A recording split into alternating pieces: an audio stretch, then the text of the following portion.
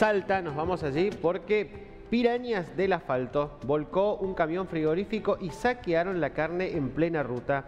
Un camión con cámara frigorífica perdió el control y volcó esta mañana en la intersección de Ruta Nacional número 16 y Ruta Provincial número 30 en la localidad de Joaquín B. González.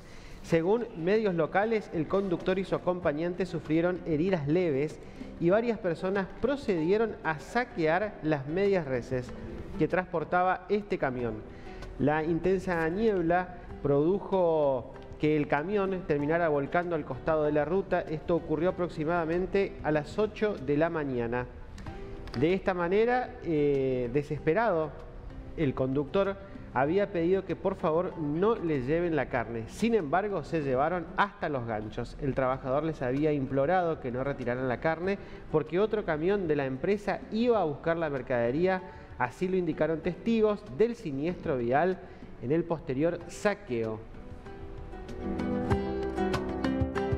Somos el primer canal de noticias desde el interior del país.